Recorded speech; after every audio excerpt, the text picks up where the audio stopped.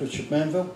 I'm the construction manager for Wates Residential and we're currently 60% of the way through the construction of 200 new houses and apartments here at Daedalus Village. Uh, it's in Lee-on-Solent, Hampshire. The site was a former military airbase um, until 1993 when the site became redundant and was under the ownership of Homes England, formerly the HCA, which is a government agency. So we're in partnership with um, Homes England, building the new homes. As you can see behind me, we've got two sites. We've got the west and the east, uh, two parcels of land. Our site offices sit in the middle. And to give you some perspective, there's about three quarters of a mile between the two sites. So it's quite a big area that we cover. So we put the offices in the middle so that we could obviously cover both sites from a central point, which is working quite well. So today I'm going to take you through the various stages of the construction and I'll hope it's be, it'll be some use to you. We've introduced the one-way system on the um, project office area so people have to wait to be seen in these areas and follow their way out through the door at the back there a big out sign you can't miss this helps with social distancing. This is the uh, changing area for the guys. Coach boots and hats. Ear defenders if required. We've introduced the uh, red dots, which are two metres apart, just to obviously give people a bit of guidance as to where, where they should be with regards to social distancing.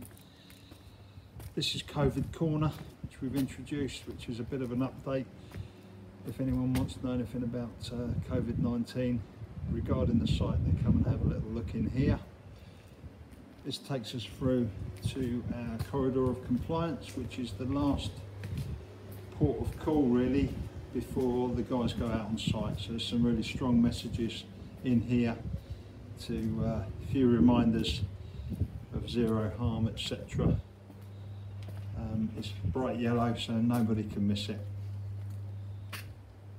So Daedalus Village is um, part of the Considerate Constructors scheme that um, a lot of sites are involved with basically it uh, means that you you get scored you get visited by the considerate constructors and uh, they come and score you on a regular basis to tell you how well you're doing and how considerate you are as a neighbour part of the community uh, we're doing really well we got uh, 43 which is quite a high score actually so very pleased with that Okay, we're here in the middle of the yellow site now. As you can see, the um, walkways are in place to keep pedestrians and operatives away from vehicles, which is really essential.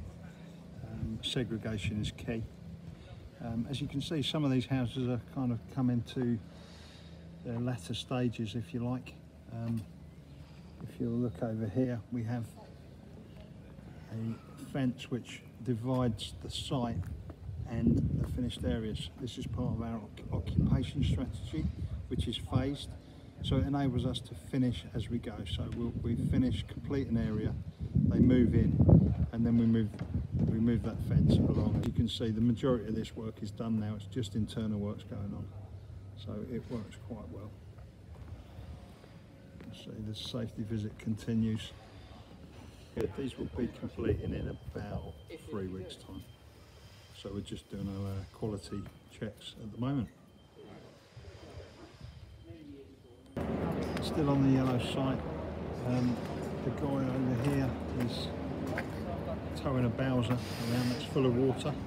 And basically that spreads water around, keeps the dust down. Obviously very dusty at the moment in the summer months. Scaffolding, if you're looking over there, it's called a Haki staircase um, and that's our access we prefer it to using a ladder. Uh, it's a lot safer and easier for people to carry tools up and down onto the scaffold. Um, it's a really, really good system. This is um, the yellow site, section of the site that is complete, as I said earlier about the occupation strategy.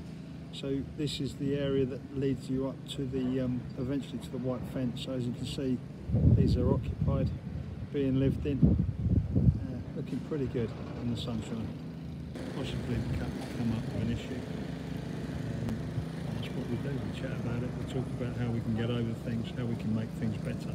It's all about trying to improve, particularly with COVID-19 trying to make things a lot safer for our guys, keeping them socially distanced as best we can. So here's um, substructures.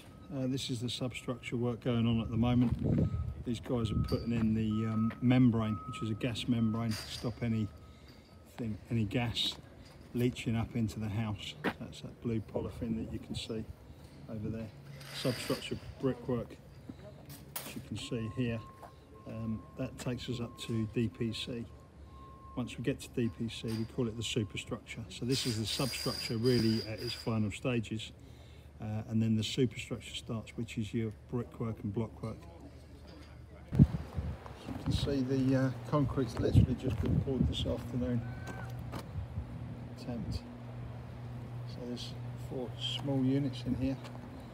Um, the DPC is the level of the brickwork. So the superstructure will be built from here.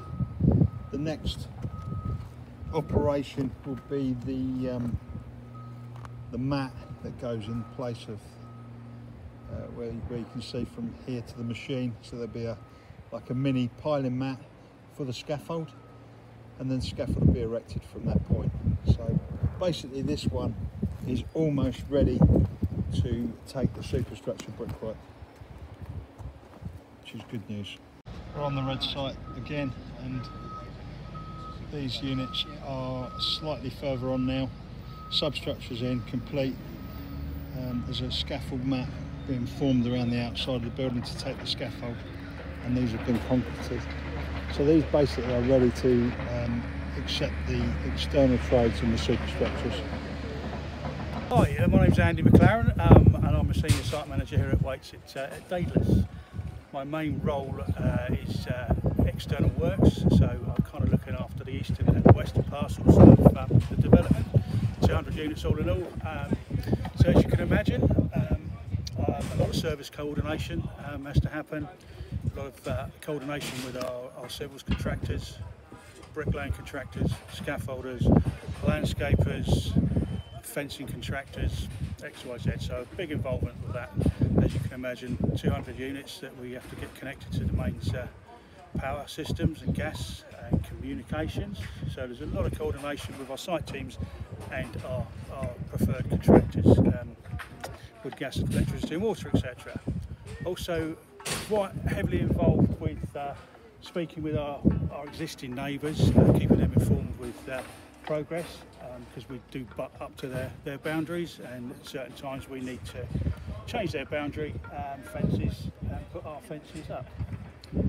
Um, now, obviously COVID has, has impacted hugely on, on us here um, with uh, labour levels, with the uh, distancing, but uh, very confident that I was part of the team in the original setup with Richard and uh, and uh, Pete Mitton uh, to get things in place, which I feel has been a success. Um, and in the main, the 48 hour pause was, was an absolutely exceptional thing to do and has worked for us here. Okay, I'm up on the scaffold now. Um, mentioned the superstructures. This is part of the superstructures. Um, I've waited until the bricklayers went for their tea to take this because obviously the social distancing, don't going to be squeezing past people. Um, but as you can see, this is work in progress. So the bricklayers work to a line, you can see there, and keeping everything nice and straight and symmetrical. Keeping the area tidy is key as well. These are wall ties. Basically these tie the brickwork and the blockwork together. So this is what's known as a cavity in here and it's a fully insulated cavity. So that's what keeps you warm, keeps the heat in houses that we build these days are very, very um, efficient in that respect. So we don't need a great deal of heating because the, the, the heat escape is minimal because they are built so well.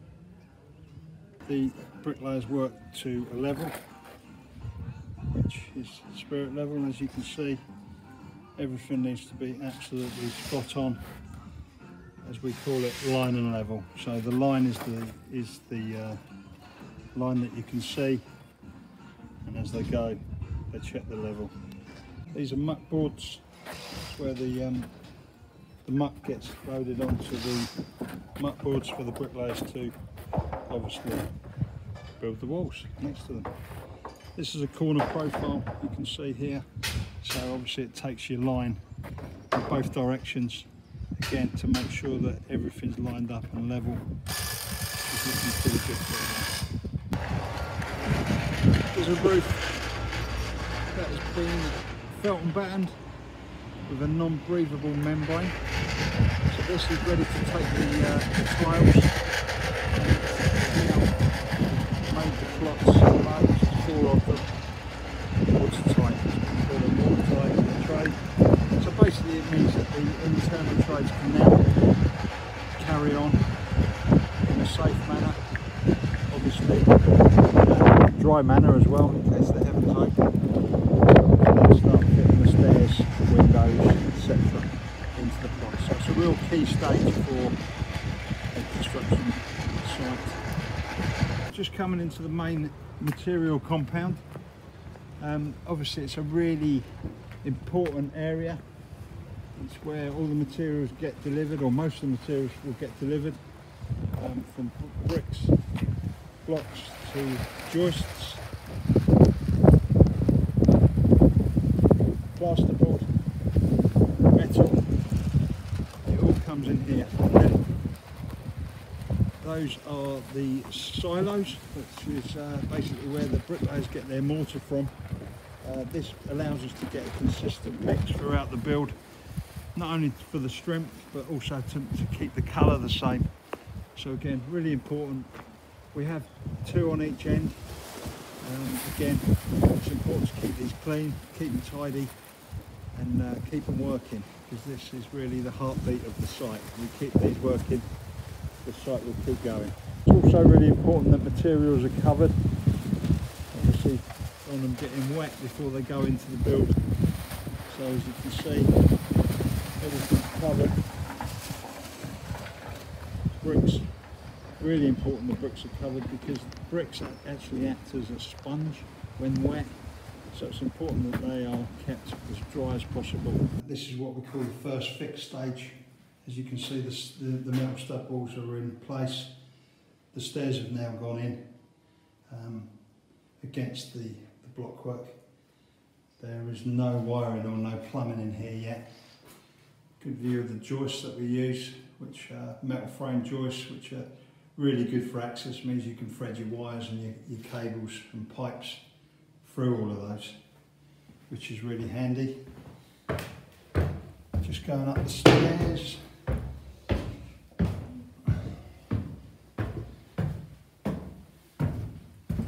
During the build it's really important we keep everyone safe. This is a standard barrier that we get the carpenters to fit once the stairs are in to prevent anyone falling.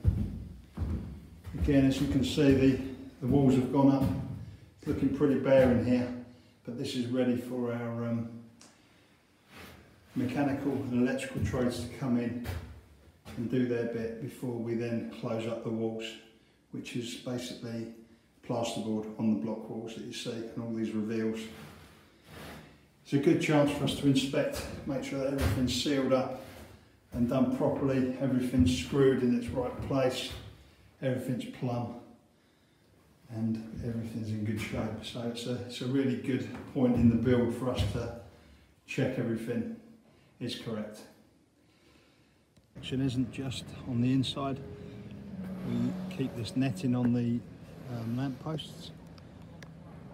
Again, right up until we hand over to avoid them getting smashed or damaged before um, we complete the areas. I'll just take you inside one of the units. This is nearing completion. We're just putting the floor coverings down, um, which is uh, the carpet underlay, as you can see there, and obviously the, the kitchen. Just getting ready for the uh, the oven installation, etc. So this is getting close to completion. All of the uh, protection's been taken off the toilets and the um, radiators. Basically getting ready to um, move in and do our final quality inspection. As I say, we leave protection on radiators, etc. and on the windows and doors right up until the last moment for obvious reasons. It keeps it from being um, scratched and damaged before handover. Hi, I'm Victor, one of the section managers on the project. I'm looking after the finishes. My main job is to make sure the houses are finished to a good standard and everyone is safe on the site.